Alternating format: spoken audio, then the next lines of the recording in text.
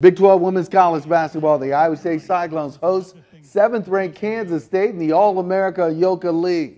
The Iowa State freshman Audi Crooks comes up big against the All-American, two of her team high 20 points.